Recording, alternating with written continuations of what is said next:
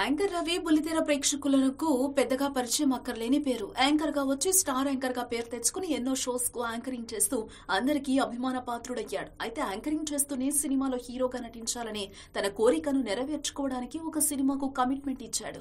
అలా హీరోగా తెరపై కనిపించాలనే ఆశతో ఉన్న రవికి ఊహించని విధంగా షాక్లు తగులుతున్నాయి. అయితే ఇది మా ప్రేమ కథ అనే సినిమాతో రవి హీరోగా ప్రేక్షకుల ముందుకొచ్చిన సంగతి తెలిసిందే.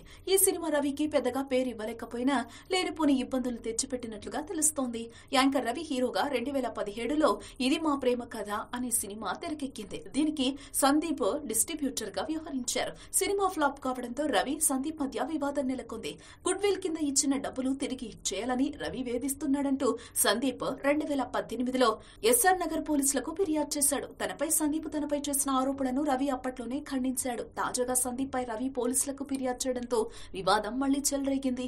అయితే ఇదే విషయంలో తాజాగా యాంకర్ రవి డిస్ట్రిబ్యూటర్ సందీప్ పై క్రిమినల్ కేసు పెట్టాడు. తన దగ్గర నుండి సందీప్ నలభై ఒక్క లక్షలు తీసుకుని తనను మోసం చేశాడంటూ హైదరాబాద్లోని కుకట్పల్లి పోలీసులకు ఫిర్యాదు చేశాడు. డబ్బు కోసం అడిగితే కొంత మొత్తం ఒక దఫాగా ఇచ్చాడని మిగతా డబ్బు కోసం అడుగుతుంటే ఇవ్వకుండా తప్పించుకు తిరుగుతున్నాడని రవి తెలిపాడు. ఇదే కాకుండా సందీప్ వల్ల నాకు ప్రాణహాని ఉందని వారి నుండి నన్ను రక్షించండి అంటూ రవి పోలీసులను కోరాడట.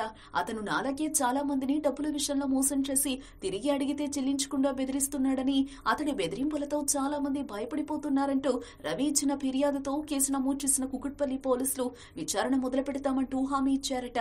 నేను ఎక్కడ షూటింగ్లో ఉన్నా కూడా వారొచ్చి నన్ను బెదిరిస్తున్నారు అంటూ పోలీసులకు ఇచ్చిన ఫిర్యాదులో పేర్కొన్నాడు. బుల్లితెర మరియు సోషల్ మీడియాలో చాలా ఫేమస్ అయిన యాంకర్ రవి పోలీసుల ముందుకు వెళ్ళడంతో ప్రస్తుతం ఆ వార్త కాస్త వైరల్ అవుతుంది. బుల్లితెర వర్గాల్లో ఈ విషయమై చర్చ జరుగుతోంది. యాంకర్ రవి ఫిర్యాదుపై ఆ సందీప్ ఎలా స్పందిస్తాడు అని చూడాలి. ఇక ఈ సంఘటనల వల్ల రవి సినిమా కల కలగానే మిగులుతుందేమో అని తాను ఇండస్ట్రీలో హీరోగా విజయాన్ని సాధించలేనేమో అని మదనపడుతున్నాడట చిన్న స్థాయి నుండి కష్టాలు పడి హీరో స్థాయికి వస్తే నాకే ఎందుకు ఇన్ని కష్టాలు అంటూ యాంకర్ రవి సన్నిహితుల దగ్గర వాపోతున్నట్టు తెలుస్తోంది. ఇప్పటికే నా ప్రేమ కథ సినిమా కోసం ఇంటిని కూడా అమ్ముకున్నా అంటూ ఒక స్పీచ్లో యాంకర్ రవి చెప్పిన సంగతి తెలిసిందే.